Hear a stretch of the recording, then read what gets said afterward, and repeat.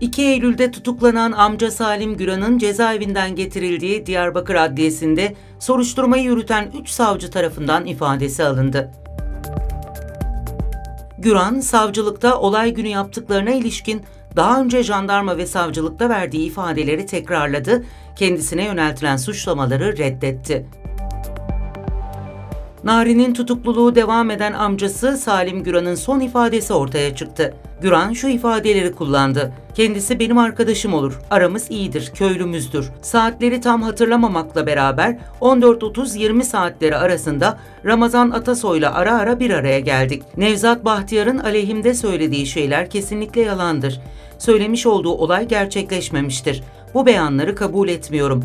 Ben Nevzat'a Arif'in kızını öldürdüm demedim. Salim Güran, HTS kayıtlarındakilerle ilgili de konuştu. Güran, ben kesinlikle Nevzat'la olay günü görüşmedim. Bu hususu da kabul etmiyorum. Saat 15.21 ile 15.46 arasında Nevzat'la aynı lokasyonda bulunmadım. Kesinlikle görüşmedim. Baz analizleri yanlıştır. Nari'nin ölümüne ilişkin herhangi bir delil yok etme amacı taşımıyorum dedi. Salim Güran, otomobilinde Narin Güran'ın DNA'sının bulunmasına ise Araç benim adıma değildir, kardeşim Fuat'a aittir. Benim aracım arızalı olduğundan ben bu aracı kullanmaktayım. Aracın kapıları ve camları sürekli açıktır. Çocuklar sürekli arabaya binerler yanıtını verdi. Salim Güran, Nari'nin annesiyle ilişkisi olup olmadığı yönündeki soruya böyle bir şey kesinlikle yoktur dedi.